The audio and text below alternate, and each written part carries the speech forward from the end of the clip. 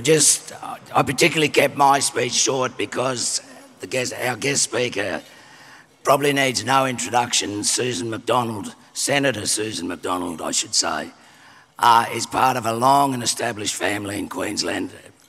They, uh, they are great members of their community up in, in central North Queensland. And Susan is certainly no slouch as well. She comes from a background of business. Um, she also spent six years running a, a, butcher shop chain, which is pretty unique to have on your CV. I won't uh, even try and guess if anyone in the, in the uh, government has done that, uh, and has been responsible for uh, the staff that go with that. So she's seen the business side of the community, as well as now, of course, she's the Shadow Minister for Resources and Shadow Minister for North Queensland. I've known Susan and her, and her family for, for decades. The contribution they've made to Queensland would take up a volume by itself. But Susan is, is carving her own volume, contributing to Australia being a better place, and particularly in the most important portfolio, which is resources in North Queensland. Susan, please come to the stage.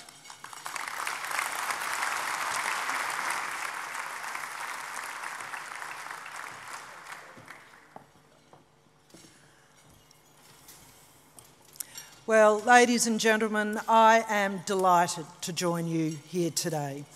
And I'd like to thank outgoing CEO of the Queensland Resources Council, Ian McFarlane, and the QRC board for inviting me to speak today. And to commend Ian on his decades of support and advocacy for the resources sector, both in government and in industry and corporate sectors. Most, though, I want to thank Ian for taking such a strong stand on behalf of the resources sector broadly and coal specifically. Because you know, as I do, that increasingly organised, loud voices from activist groups have been left unchallenged by state and federal governments and emboldened by increased funding to the Environmental Defenders Office. And I'd like to acknowledge my two leaders, Peter Dutton and David Littleproud, and my federal colleagues, Keith Pitt, Andrew Willcox, Colin Boyce and Garth Hamilton. I'd also like to acknowledge the State Shadow Ministers, David Janetzki, Pat Weir, Sam O'Connor and Amanda Camm, and more state colleagues, Lachlan Millar, Jim McDonald and Trevor Watts. Of course, the Lord Mayor, Adrian Schrinner, along with all the Queensland mayors and local leaders from around our great state. But that long list will tell you that the Liberal National Coalition support for the resources sector is unwavering. And to have coalition attendees from all levels of government is a testament to that support. Because even though there is no you in Labor, there is definitely coal in coalition. It's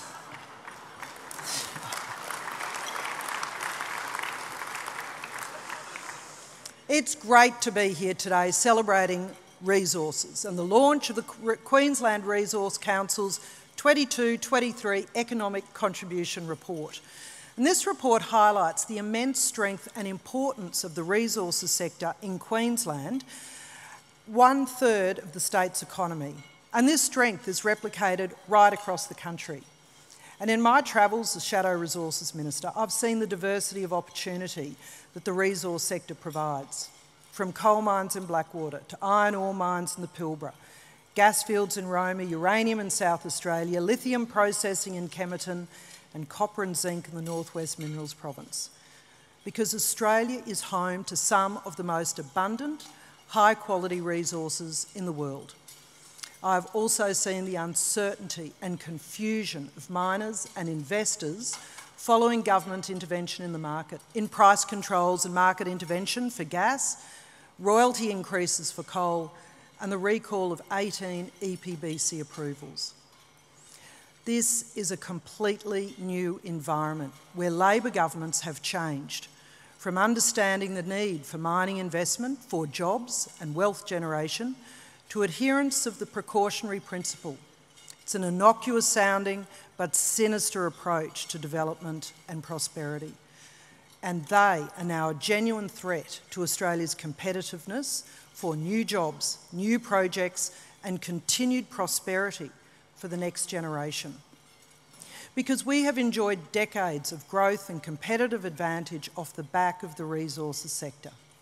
From the first discoveries of gold at Gympie that funded our fledgling state, Mount Morgan Gold, the vast copper, silver, lead, and zinc deposits at Mount Isa, the development of the Bowen Basin, and more recently CSG. It is resource royalties, taxes, and well paid jobs that have paid the bills. And today, Australia's resource sector directly and indirectly employs over 1.1 million people across the country. More than half a million of those are Queenslanders. That is half a million Queensland families that are supported by companies uh, that you represent, with salaries that are on average 50% higher than the average Australian wage. But what else does the sector provide? It contributed a record $116 billion, which is one third of the Queensland economy in 2022 23. Resource companies have invested over $32 billion into local governments, sporting clubs, charities, and businesses in communities right across Queensland in this same period. And billions more dollars spent in capital to access and liberate our resources and convert those tonnes into royalties, taxes, and jobs that allow us, Queenslanders and Australians, to enjoy some of the highest standards of living in the world. You should be proud of the investment and prosperity that your industry provides and be vocal in your praise for the sector. Because Australia may have ridden on the sheep's back but it was the pursuit of minerals that accelerated our development as a modern nation. There is much public discussion about the expansion of the resources sector into new frontiers. And it is true, the opportunity that critical minerals presents is an exciting and important one. While recognising Australia's critical minerals will be in demand for low emission technologies, their importance extends far beyond a single focus playing a vital role in industries such as defence, aerospace, transport, automotive, medical, telecommunications, as well as advanced manufacturing. And Queensland is blessed with many of these strategic minerals that will become ever more necessary in the coming years. However, we should not abandon our traditional resources as we look to capitalise on a future critical minerals boom because coal is still critical to our current energy production and is vital in steel making. Because if it's not made of steel, it was made in a factory made of steel. Gas is another critical energy source, both domestically and internationally, and is used in manufacturing. And with the current cost of living crisis facing Australian households today, exacerbated by this Labor government, Consumers want to see sustainable solutions to easing their energy bills, not just a taxpayer subsidy for mismanagement. Coal and gas are still and will be for some time to come part of that solution as affordable, reliable sources of energy for households and industry. And this remains true for Australia and many of our international partners across the globe who want access to our high quality resources for their own manufacturing and energy security. By 2030, metallurgical coal demand is expected to grow by 24% and thermal coal by 23%. By 2040, global LNG demand will have doubled. And we have seen both the Queensland and federal budgets propped up by the strength of coal and gas. And if we want to ensure continued economic prosperity, traditional resources must remain in production. However, the opportunities of tomorrow are not yet guaranteed. And despite the long and successful history of mining in Queensland and Australia, the sector's confidence is being undermined by attacks on a number of fronts. We've seen changing regulatory requirements forced onto the sector, with minimal consultation or regard for the long term impacts on investment and sovereign risk.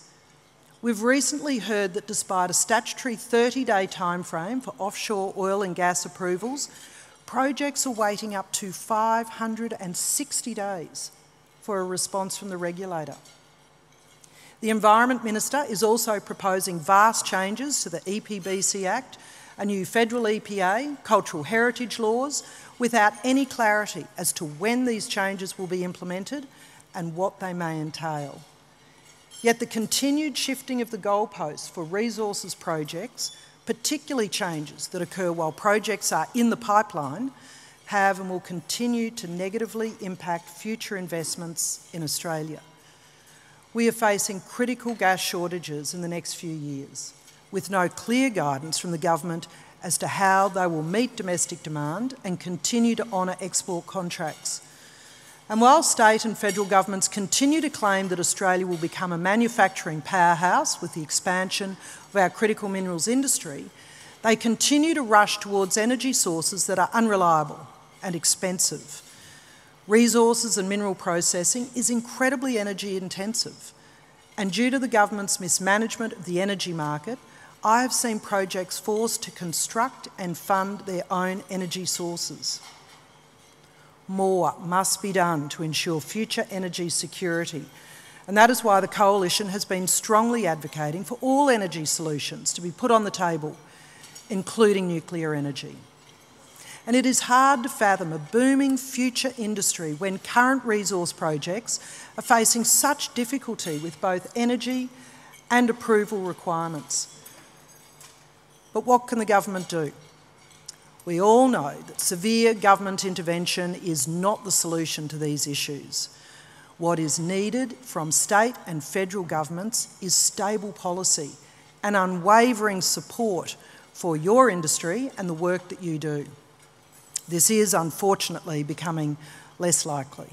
We are facing Queensland and federal Labor governments who appear to not even be able to acknowledge the work the resource sector does. Think of the last budget, where the closest the federal treasurer, a Queenslander at that, could get to mentioning coal and gas was a reference to the things we sell overseas, and key exports, and price fixing commodities. Hardly the words of a government seeking to encourage and support future investment in this income generating industry and the millions the government spends on funding the Environmental Defender's Office to wage legal warfare on government decisions undermines any credibility or illusion of support for the resources sector. And what message is not being heard by Queensland and federal Labor? Well, first, that future investment is not guaranteed if they continue to wage regulatory and rhetorical war against your sector, it will ultimately culminate in one outcome a reduction of investment and support for Australian resources. The case also needs to be made to highlight what damage this would do to Australian households. How much more tax would families have to pay to recoup the revenue lost if Queensland misses out on future mining projects? How many downstream jobs will be lost in logistics, transport, hospitality, maintenance? What are the large impacts of reduced investment? And I echo the message that Ian and the Queensland Resource, Resource Council are making. Don't kill the golden goose and risk our nest egg. Because the seismic policy shifts from the government are having an impact. Shifts like dramatically increasing royalties on critical resources like coal here in Queensland, or direct government interventions like in the gas market. Higher royalties on an industry that halts investment will only deliver less for Queensland. And we can already see the impacts of the Premier's royalty hike. Conversations I have had with service providers have warned that exploration is dramatically decreasing in Queensland. The Australian Resources and Energy Employer Association has also highlighted a sharp drop in investment and jobs as a result of royalty hikes. We know that when Queenslanders are made aware of the risk, they want a reduction in royalties if it means more investment from mining companies. But it is worrying that the Premier is deaf to these warnings, and it is imperative that you as an industry keep the pressure up. Because if you relent, it gives permission to the government to continue undermining your sector. So, how best to respond to a society that now questions the role of resources when once the role of your companies was accepted with widespread enthusiasm? Now, engaging politicians has benefits, but the real PR battle must take place out of the boardrooms and in people's living rooms. People need to understand both the macroeconomic benefits to all of Australia, as well as the benefits at a more grassroots level. Attitudes to mining may change if people could see how much more tax they'd be paying if mining investment and activities slow down, or alternatively be shocked at the services that we have all grown accustomed to that as a nation we could no longer afford. People think that there is no future in mining. Too many of our kids are choosing to not go into the sector because of this. And the Greens and Teals have worked this out and have made huge inroads in influencing government policy and public attitudes to mining and resources. Now, these ideologues are quite happy to join the latest pylon or boycott and denounce miners and energy companies, but they fail to see the irony that the tweet, the like, or comment is only possible because of the minerals used to make their computer or device. Activists can throw paint on a priceless artwork or glue themselves to a road, but do they know what goes into making paint and glue? What about the asphalt the road's made from? Or where did the taxes and royalties come from to build that road? Technical discussions with government on policy has its place, but it will be increasingly fruitless if people are persuaded to elect more politicians whose stated aim is to put you out of business.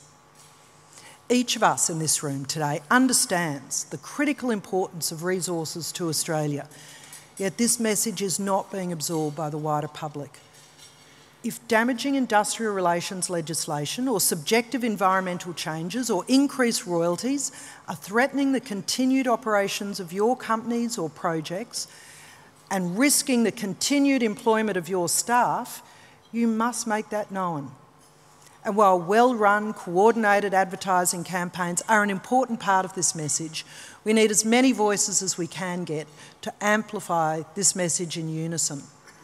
It is the responsibility of every person in this room, every person who knows the risks and the potential damage of poor reforms, to make sure their employees fully understand what the impact could be on their well paid, secure jobs.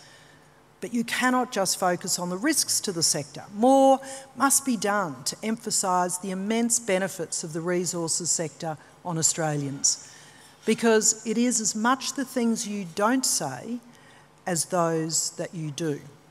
And at every resources event I attend, the following messages are repeated the diversity of your workforce, the investment in consultation with landholders and traditional owners, the environmental scientists employed. These are important messages. But when there is no celebration of the wealth generated for Queensland and Queensland families, you undermine the value of the rest of what you do. It is important to celebrate the profits made that ensure that mum and dad investors and super fund balances benefit from those dividends. It is critical to understand that each project funds thousands of small businesses and it's Queensland's small businesses that hire nearly half the people in this state, allowing their families to thrive. It is vital to celebrate the fact that resources generates one third of the state's economic activity. We could even acknowledge that the billions of dollars of royalties paid allow for the Premier to subsidise another red carpet or build another bike path but when you focus on the issues of a noisy few and let them set the agenda, you lose the opportunity to talk about the importance of everything else you do. And when those things are not said, it devalues them. And Queenslanders can be forgiven for not demanding protection for the industry that provides Queensland's nest egg. There are over half a million direct and indirect employees of the resources sector across Queensland. That is a large contingent of voices who could be supporting your campaigns against legislation or policies that are impacting your sector. Over half a million people who could be telling their families and friends that if damaging policies are left unchecked, investment in the project that provides their jobs could be at risk, and the prosperity of the state could be irreparably damaged. I've said it before and I'll say it again. If there is one question I can ask you all to leave with today, it is this. What are you doing to engage with your employees, your suppliers, and contractors to arm them with the information and arguments they need to defend the industry at a grassroots level? What are we all doing to make sure that those half a million voices are informed? That they are not only informed, but they feel proud of what they do, confident to speak up when they are at that barbecue with friends or on the sidelines at weekend sport, to correct the mistruths that are spreading through letterboxes by anti mining activists. Those half a million voices, almost 19% of Queensland's workforce, must be empowered to change the public perception of the industry. So, your story is a positive one. I believe in it. The Coalition believes in it.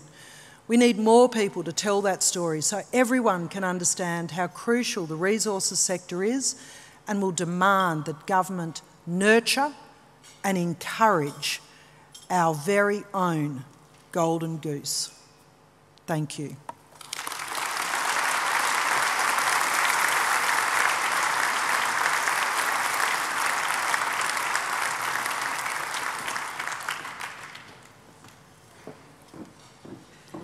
Once again, please thank the Senator for her speech and also we've got the dress code right, so that's positive. Yeah, I think we've, we've done well. Got the memo? We got the memo. We'll embrace wearing the same jacket here, unlike at Channel 9 where I work. And I know on behalf of everyone in the room, thank you very much uh, for your advocacy for the sector and also for supporting local communities. Thank you very much. And uh, the Senator took time away, was allowed time away from the Senate, so thank you for being here. And also, we met last week at the inaugural WIMARQ Gala dinner, so lovely to have you back. Round of applause for the Senator. Thank you for your time. I would now like to invite